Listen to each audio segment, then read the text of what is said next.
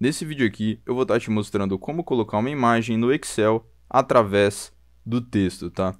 Então, primeiramente aqui eu vou estar escrevendo qualquer coisa.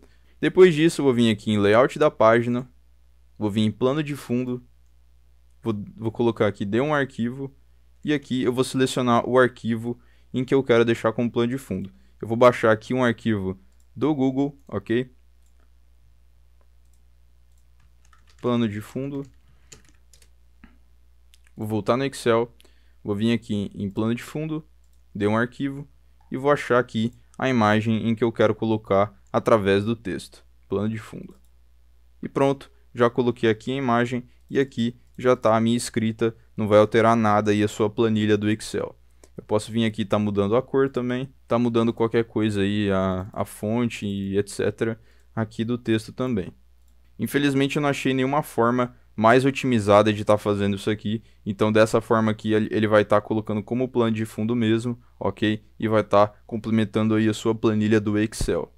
Se esse vídeo aqui te ajudou de alguma forma, eu peço que você deixe o like, que se inscreva no canal para você receber outras dicas úteis e também fortalecer o canal.